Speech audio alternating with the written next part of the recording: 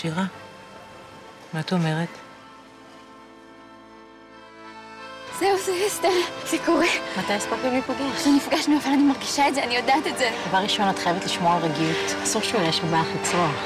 ודבר ש... אה, אסתר.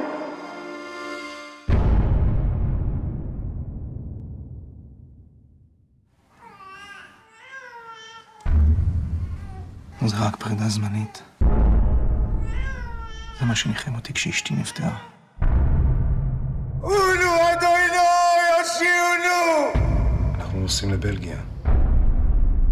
אונו אדונו יצליחונו! תגיד לי איך אני שורדת את זה. בנס. אני לא הייתי שוקלת את זה אם לא הייתי חושבת שהם מתאימים.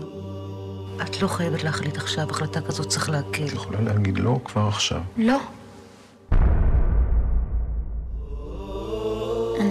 הקטנה של אסתר. אני חושב שאת יכולה להיות אימא נפלאה למרדכי. אתה קרוב מדי.